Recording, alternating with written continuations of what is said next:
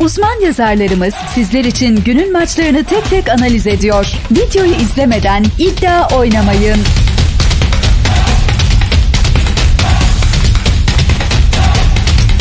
Süper Lig'de Sivas Spor ile Galatasaray karşı karşıya geliyor.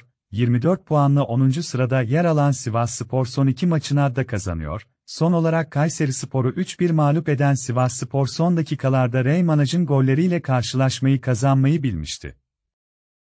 Galatasaray ise Fenerbahçe ile aynı puana sahip son olarak Konya Spor'u 3-0 mağlup eden Sarı Kırmızılılar Sivas deplasmanından mutlak galibiyet çıkarmak istiyor. Konya Spor karşısında skor olarak rahat bir galibiyet gibi gözükse de iç sahada Konya Spor.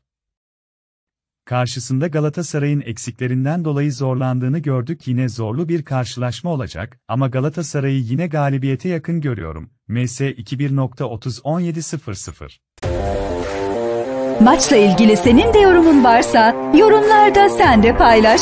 Videomuzu beğenip kanalımıza abone olmayı unutmayınız.